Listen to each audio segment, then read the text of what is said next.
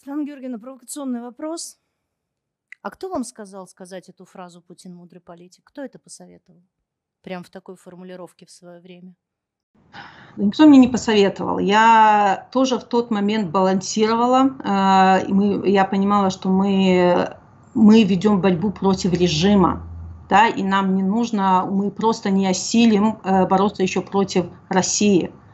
И поэтому я старалась этим месседжем донести, возможно, не, неправильной формулировки. Не хватало мне опыта. Я тогда была, знаете, так очень искренне э, верила в то, что там услышат. Мы, как страна, э, мы хотим отсоединиться от России. Мы не хотим быть в тисках э, э, этой страны, которая считает нас своим сателлитом, губернией и так далее.